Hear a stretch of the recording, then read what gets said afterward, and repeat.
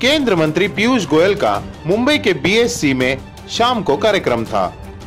लेकिन उनका pilot late होने के कारण सीधा एयरपोर्ट से विले पार्ले स्टेशन गए और वहाँ से स्पेशल ट्रेन से चर्च गेट तक यात्रा किया।